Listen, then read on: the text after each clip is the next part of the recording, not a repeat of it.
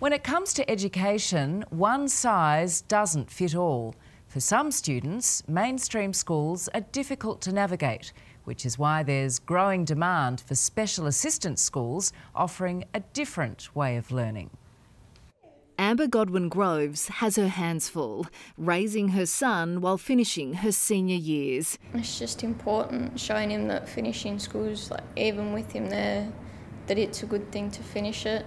And she's found the perfect place to do it Warakirri College in Campbelltown, which offers free childcare and a different approach for students who struggled in the mainstream system. We've got students who've um, been out of school for two years or students who've been asked to leave the mainstream or they've been incarcerated maybe and they've done their time and they want a fresh start.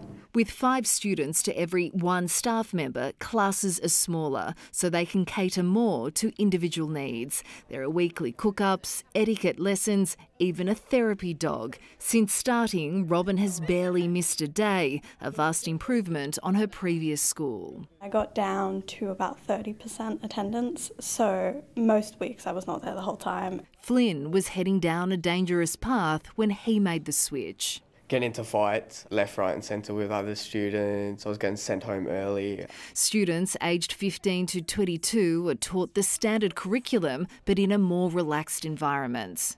Now, my daughter uh, is very tense, and straight away when she walked in, I noticed the physical change. Students come wearing whatever they would like to wear, and if their hair is blue, that's fine.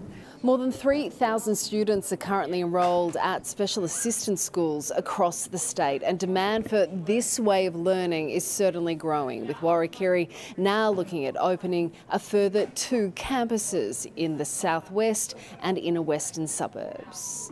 In Campbelltown, Sophie Walsh, 9 News.